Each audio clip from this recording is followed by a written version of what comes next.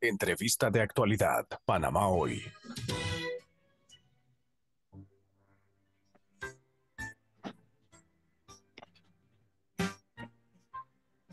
7 y 13 de la mañana vamos a continuar con más información y a esta hora nos acompaña Alexander Pineda. Él es presidente de la Asociación Nacional de Pacientes con Insuficiencia Renal y Familiares. Buenos días, señor Pineda. Gracias por acompañarnos a esta hora en Radio Panamá.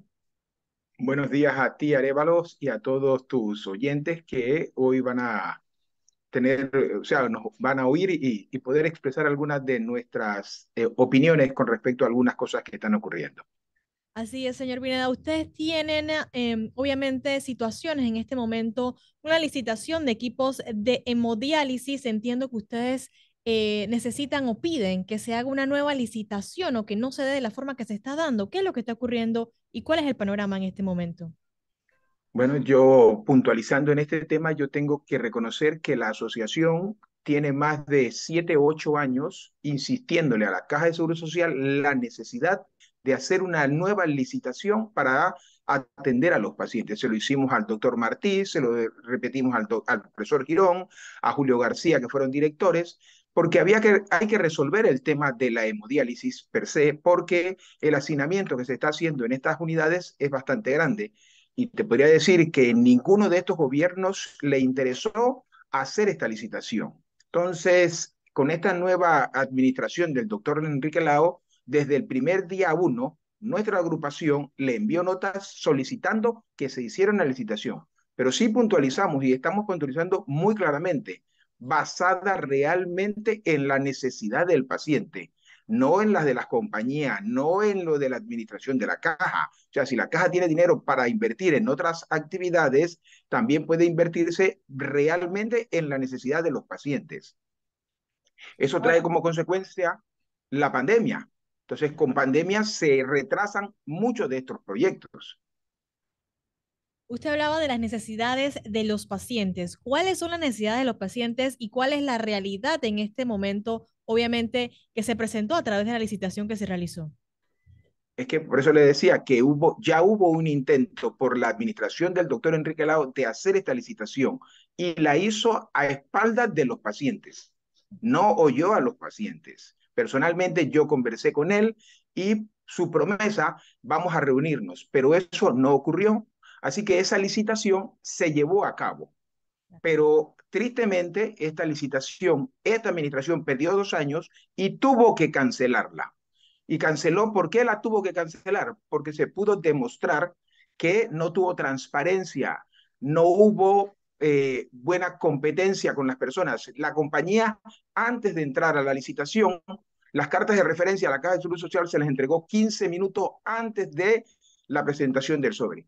Pero cuando nosotros revisamos como pacientes la oferta, nos ofrecían equipos chinos que no garantizaban calidad. Y desde ese momento dijimos, las ubicaciones no proporcionan lo que necesita el paciente, no contienen servicios de ambulancia, no incorporan tecnología. Todo eso estaba en la licitación anterior que este señor Enrique Lao mantuvo y que tuvo que cancelar. Pero resulta ser que pedimos a la Defensoría la ayuda y la presencia de la Defensoría. Y nos acompañó con varios grupos, entre esos el grupo del señor Alonso, que hoy tiene una posición diferente a la de nosotros, y eso no importa, pero también nos acompañó la Asociación de Pacientes Trasplantados, porque existe una asociación de pacientes trasplantados que no es la de nosotros. O sea, y te podía puntualizar, yo soy trasplantado, pero no esta asociación es de insuficiencia renal crónica. Entonces, ¿qué hemos dicho esto?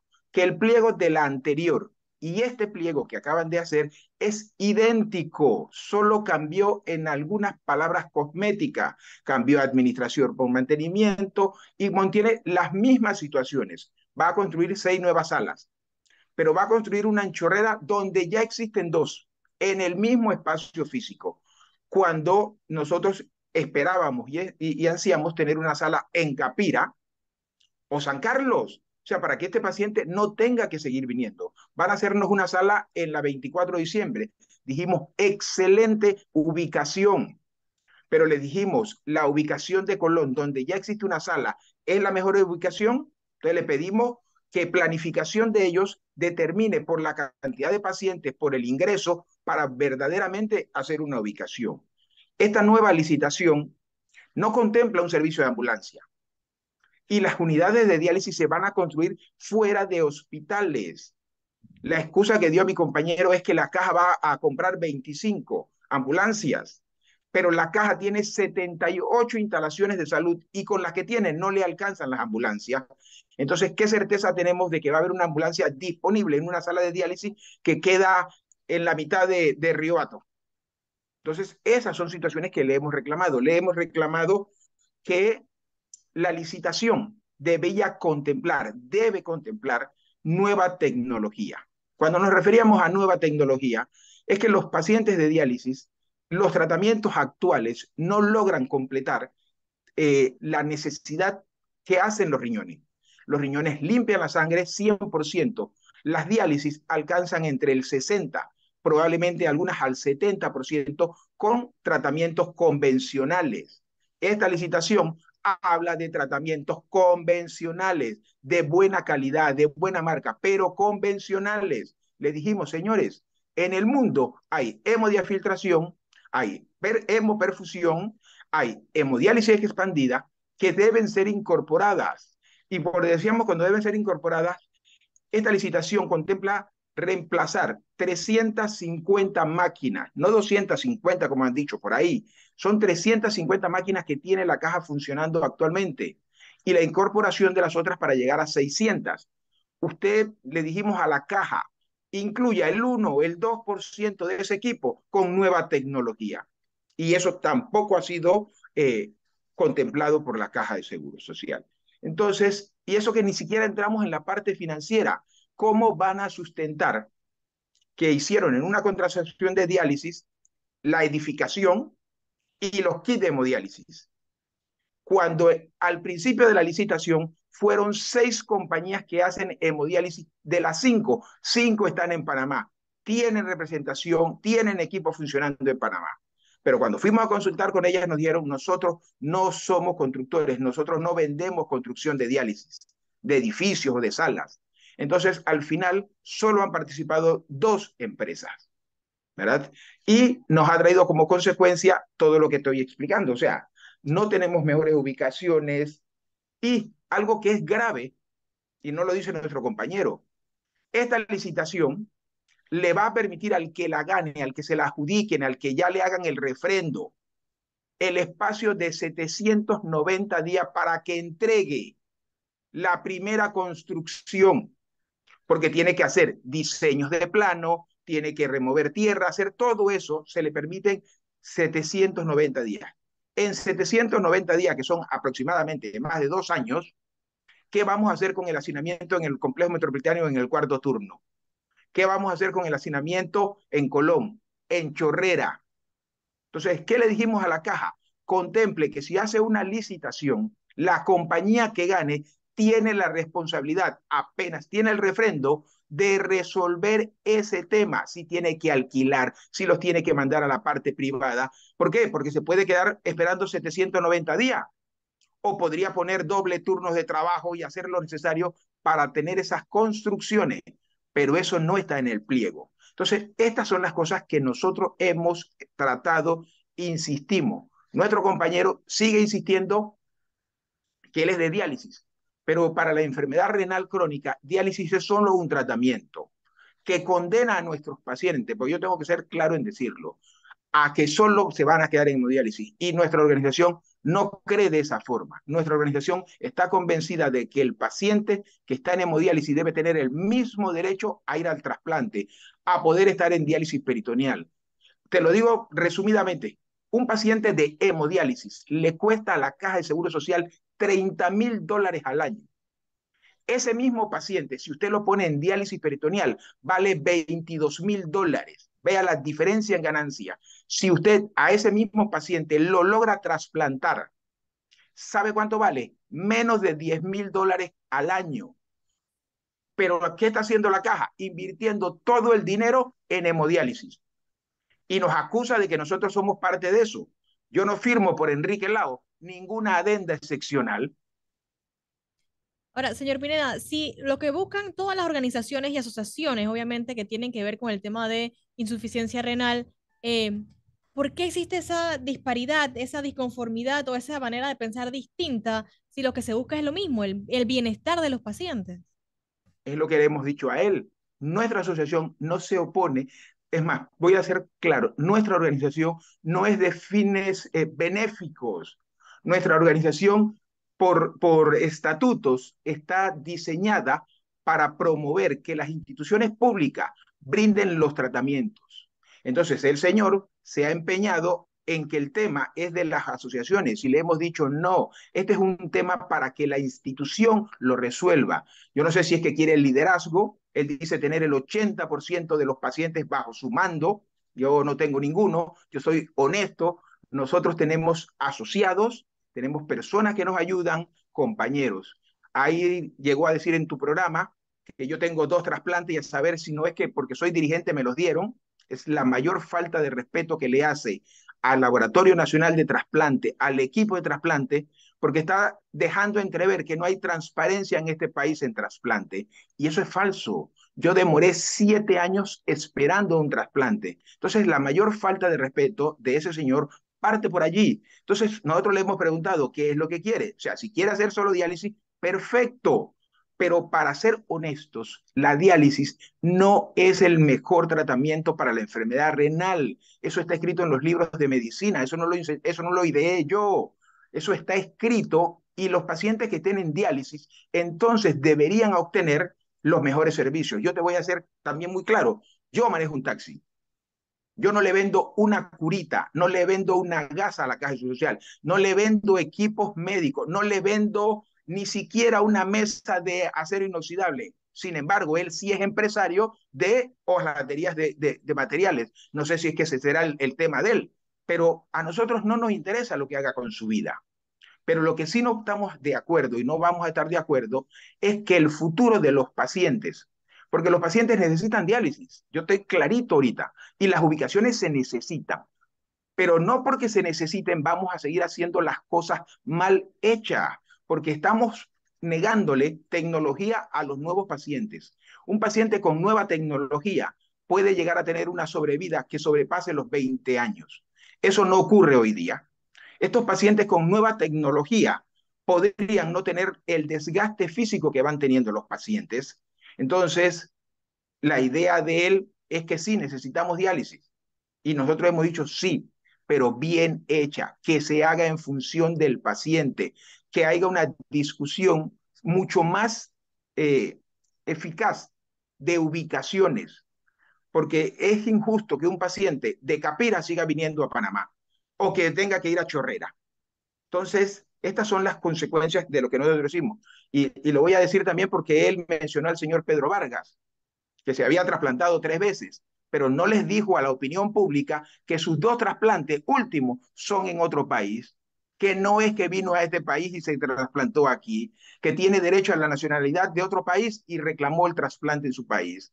Entonces, son, eh, a mi juicio, eh, rumores que difunde este señor, calumnias, injurias, y que le hemos dicho públicamente, preséntela de forma penal, porque no vale la pena estar en los medios de comunicación debatiendo estas cosas. En estos medios de comunicación debemos debatir las necesidades que tienen los pacientes.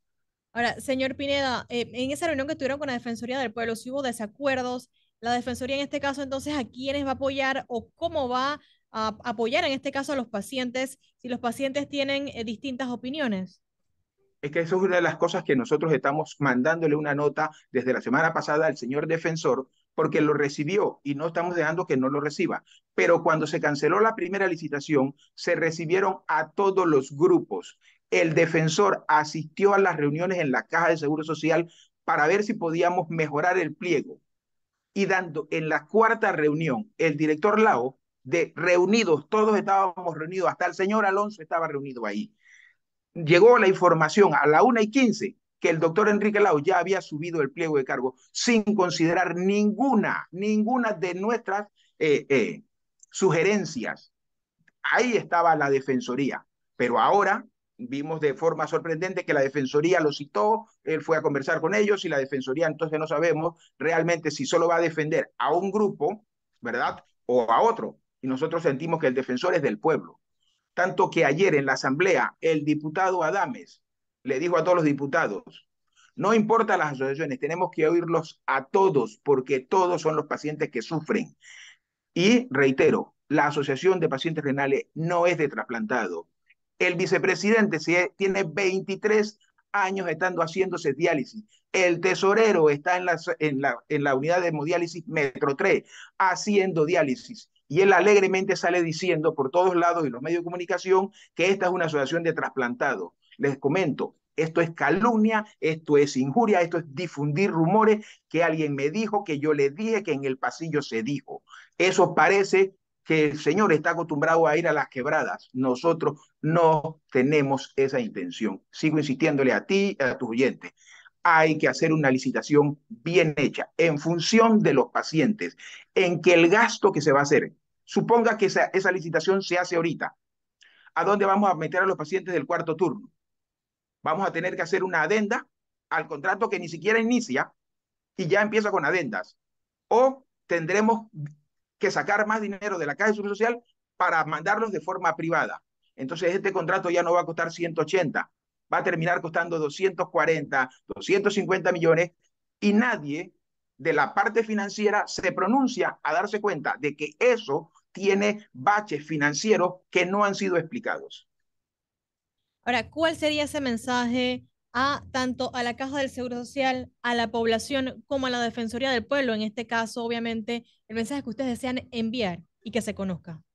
Yo, mi primer mensaje a la Defensoría. La Defensoría tiene la responsabilidad de oír a todas las partes, convocarlas y tratar de hacer un consenso.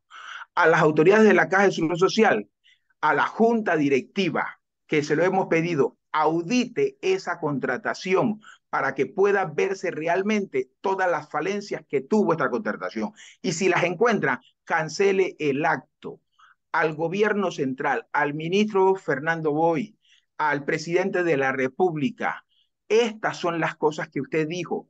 Goles a última hora, situaciones que no son muy claras.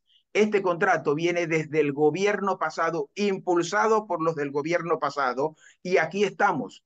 Hay que hacerle una verdadera auditoría a todo lo que se propuso en ese contrato y ver realmente si en la parte financiera qué tan nocivo y por qué no se pudo considerar las opiniones de los profesores, de los, de los pacientes. Una doctora dijo, no, es que eso es muy caro.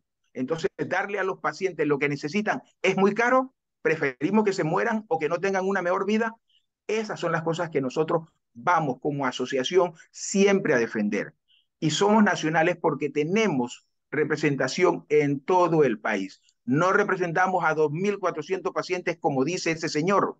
Nosotros representamos a un grupo significativo de pacientes que tienen enfermedad renal crónica y que en lo personal yo hice peritoneal siete años, ¿verdad? Y decimos, es más barata, es más económica, pero la caja no impulsa, porque usted no ha oído en estos cinco años hablar de diálisis peritoneal en la caja y lo saben financieramente, pero no era el negocio ya les digo, yo no firmo ninguna adenda, la firma Enrique Lao de todas las contrataciones excepcionales que ha ido haciendo sobre el tema de hemodiálisis. Bien, muchísimas gracias, Alexander Pineda, presidente de la Asociación Nacional de Pacientes con Insuficiencia Renal y Familiares, dándonos a conocer entonces detalles importantes o la situación que están viviendo en este momento con esa licitación para los equipos de hemodiálisis. Que tenga excelente día. Saludos. Gracias a ti.